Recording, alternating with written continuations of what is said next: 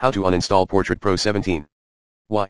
Possible reasons, corrupted client, unwanted installation, more, b. How?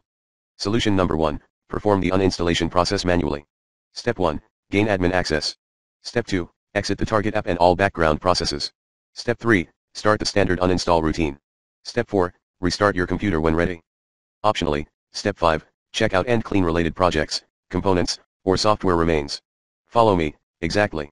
See solution number 2, try the recommended uninstall tool pro in the description area, if this removal guide fails to work.